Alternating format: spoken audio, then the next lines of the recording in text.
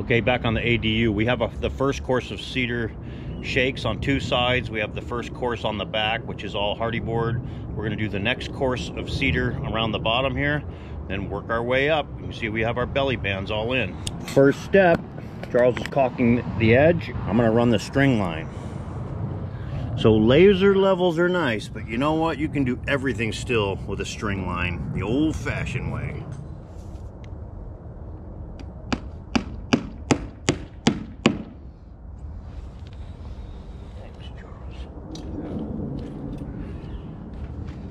Well, don't set fast motion yet.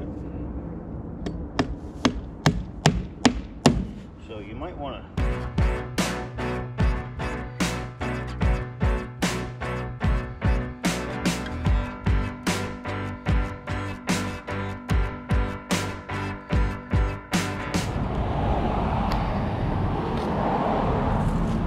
Okay, now we're moving on the, you can see we have a little shade right here. We're gonna work on the front until the sun comes around, then move around the back and the sides. But Charles has got the air nailer going now, so things are moving much faster. Oh yeah, that's more better. Okay, good morning. It is about 8 o'clock in the morning here on October 17th. So, you know, it's been 80, 81 degrees here lately. It's supposed to cool down today and be about 65. So that'll be a nice break. So let's just take a look at where we are on this little project on the siding here. So you can see Charles and I got most of the siding on this little section here. We have our bottom row all doubled up and everything looks like it's turning out really nicely. So I'm gonna get this last little trim piece that goes on the top here, finish up that, the other end there, and then start the Hardie board that goes up above. Charles is gonna wrap up this side, but we're probably gonna work on the far side this morning. We're working on that side in the morning when the sun is over over here, coming back over here and working on that when the sun is over there. So I'm gonna get busy on that. So today's also a big day out in the front. We have the um, water district coming out to put our new meter in. So that's a big deal. Once we get that, um, we've already had our inspection for the water line. It's all buried. They just have to put in a new meter and we have to hook up the main at the street. So that's a big deal on this project. Looking forward to that today. Okay, we are in the shop here to do the little horizontal pieces for, to finish off the cedar siding. So we're going to do a trim piece. It's kind of wide. It's actually two inches wide, but that makes us keep the five inch exposure on what's on the house. So we're just doing, it's just basically a little teeny shingle wedge. Looks like a little wedge that we're to do up along that top edge and trim that off. And I went and bought a nice, the nicest piece of cedar I could find over at Home Depot and milled that down. I'm just to leave the saw marks because this is kind of looks supposedly a little rough. I'm to mill these down right now.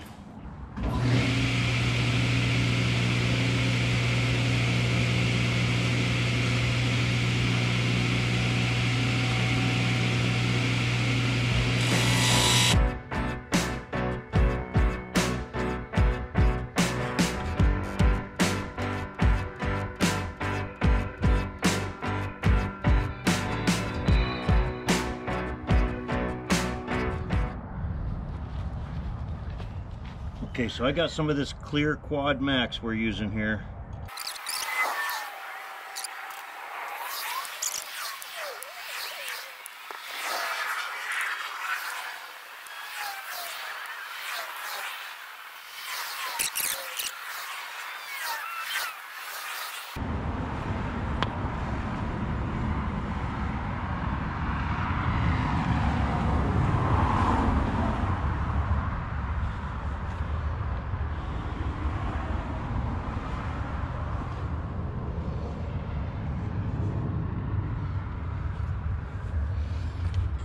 I've got enough schmoo underneath it where it's just kind of holding itself up.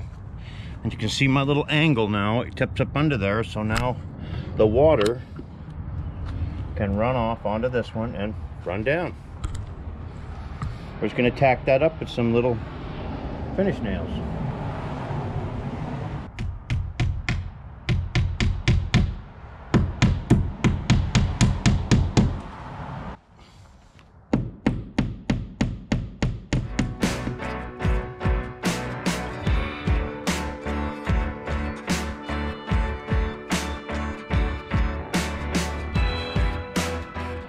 So this is where we finished up today on the siding.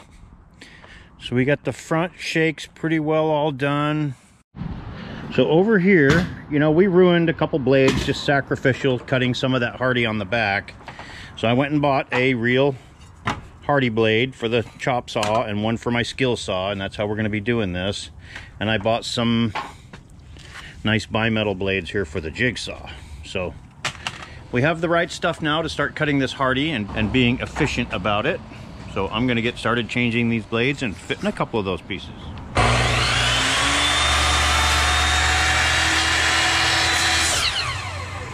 Uh, that was pretty good. If I get that out of all these, I'm happy.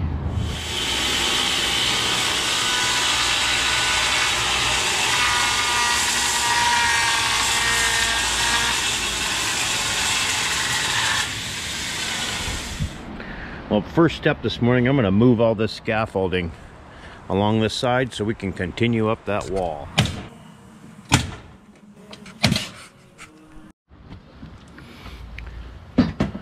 Okay, we're back on this gabled end this morning. You can see we have a rainy, wet day here in the Great North Woods.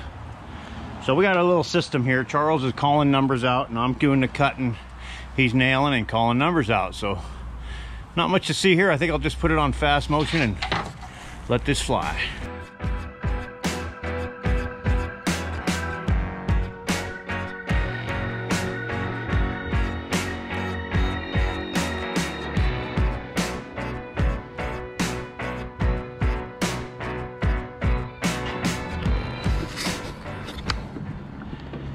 Okay, well, we are back on the little house project for a little while here. It's Saturday. We finished the floor this week. Let's just take a look around where we are here. So we are finishing up the siding up on this gabled end right here. We're going to try to get this painted in in the next week or so. Hopefully, if the weather holds out, it's been raining a lot. So our little system is Charles is just shooting down measurements to me. I'm handing up up to him and he is nailing them on. So we're gonna finish this gable down. I think I've already shown you. The back is done, the other side is done. Then we're gonna move around and do the front. I'm sure you've seen this and some other things. This thing's been around, taking a licking, keeps on ticking. Hold my breath.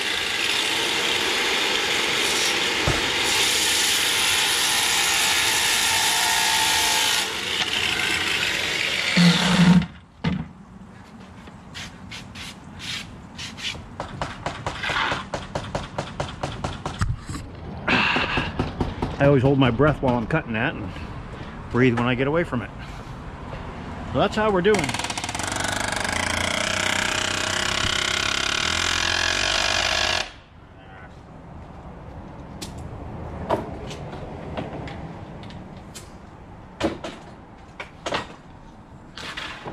Well, it looks like we got the last couple of pieces going in. Charles is on the ladder, on the scaffolding. Okay, this side is all done. Charles is just finishing up a little caulking around the door.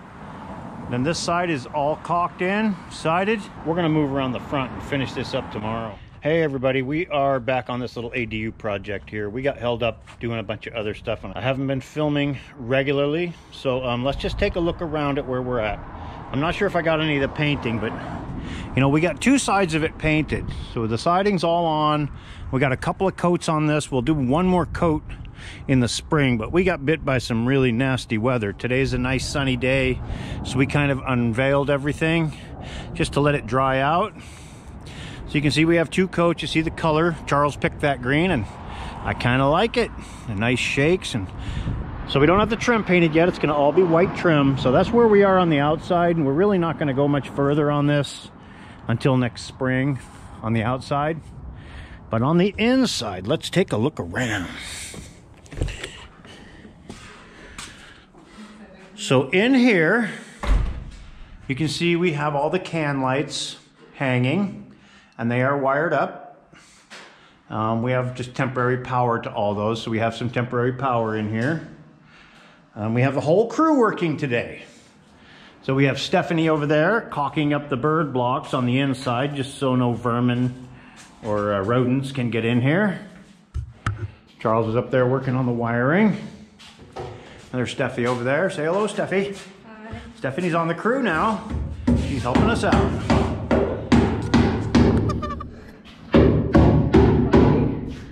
So what I'm doing is um, I'm redoing this.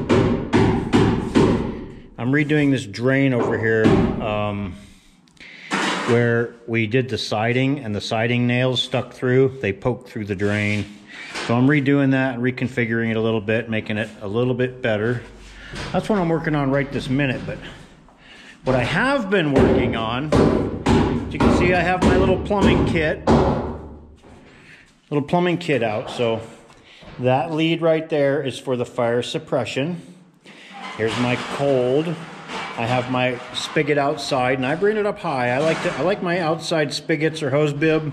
I like them high instead of getting on my hands and knees to put them on.